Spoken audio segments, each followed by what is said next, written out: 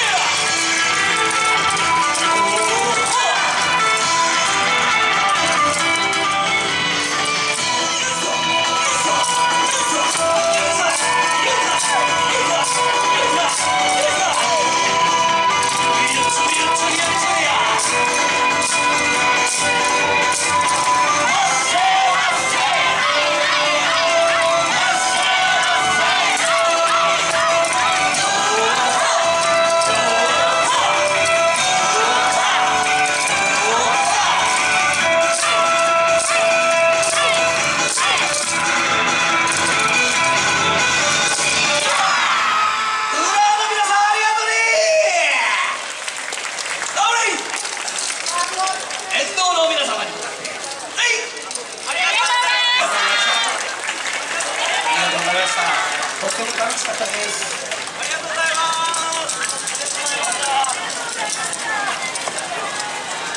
ありがとうございました